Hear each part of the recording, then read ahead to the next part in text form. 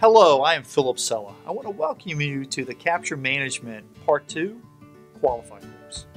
This course is a continuation of Capture Management Part 1, and it will cover the aspects of capture management process, including choosing the capture manager, following the capture management process, and creating the capture management plan. By assembling a plan for your capture management, you will be able to more efficiently pursue your desired opportunities. If you have any questions or technical issues moving forward, please contact our support desk. Thank you, and we look forward to working with you to achieve your business goals.